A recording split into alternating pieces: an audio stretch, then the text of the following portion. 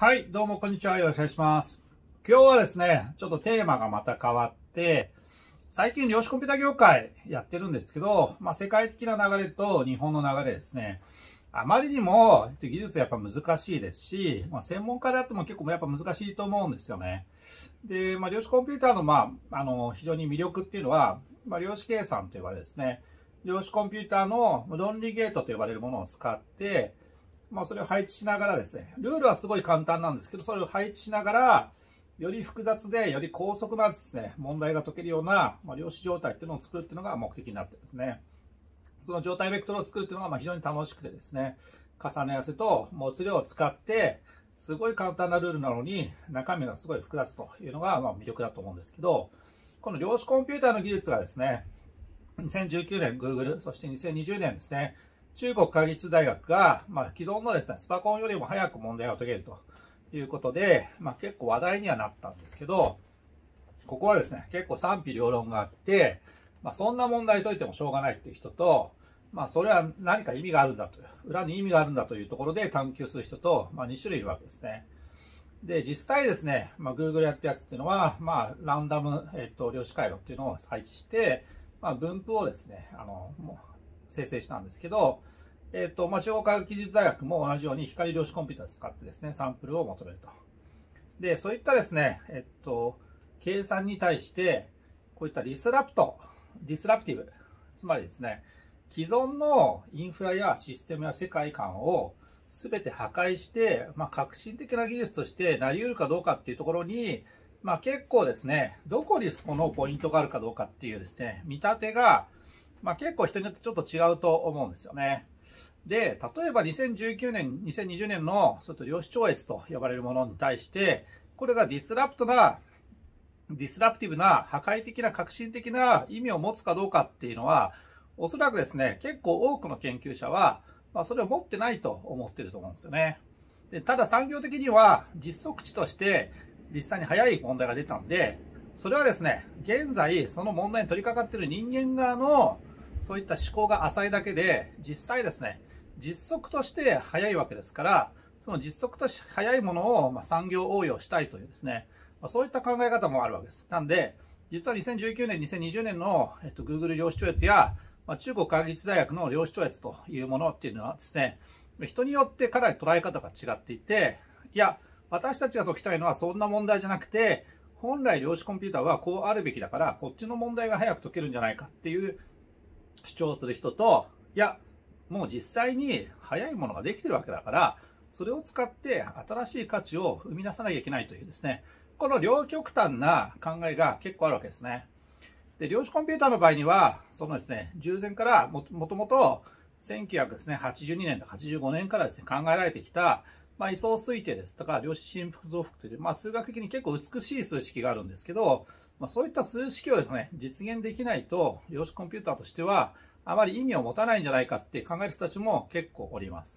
でそれはですね、なんでかっていうと、理論的には指数加速、そして理論的には自乗加速というものが、まあ、ある程度保証されているわけです。で、実物問題としてそういうものはなくたとしても、まあ、今後そういったものを作れば、二乗加速や指数加速が実現できるんじゃないかというふうに考えるっていう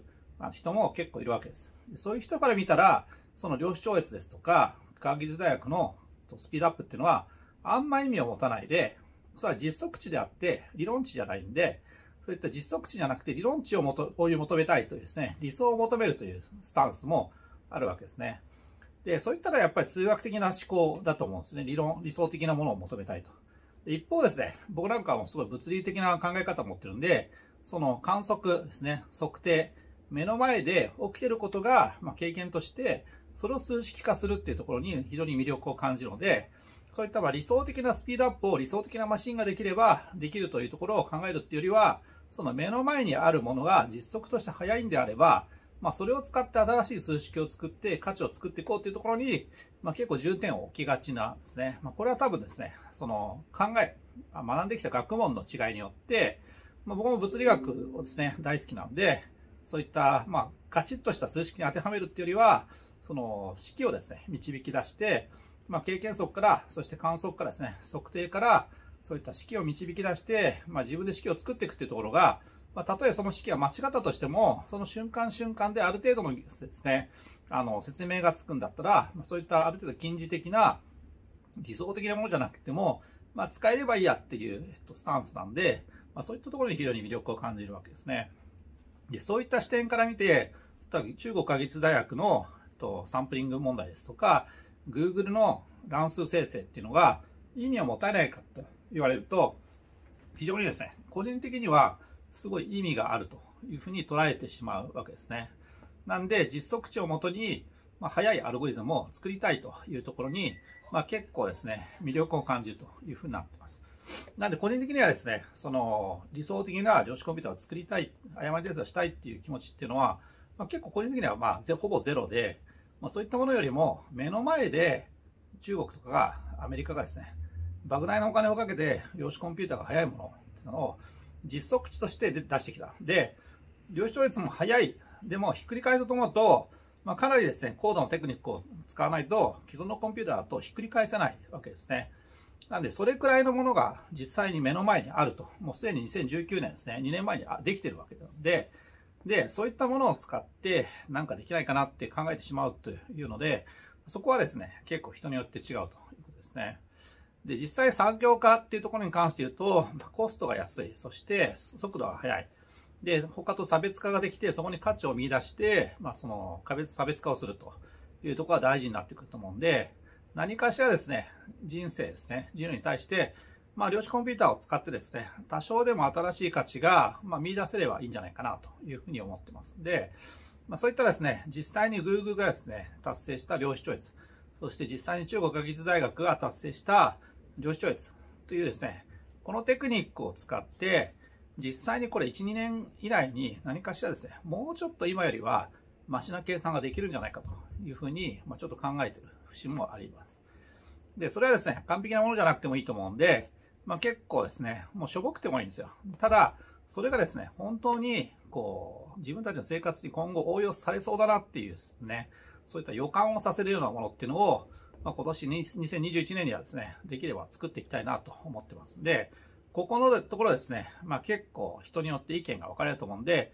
まあ理想的な量子コンピューターを作って、まあ50年かかってもいいから、理想的な量子コンピューターと、まあ、理想的な数式を使って指数加速を実現したい。もしくは、まあ手元のですね、まあしょぼい量子コンピューターでもいいんで、そのですね、サンプリングを使って高速計算をしたいと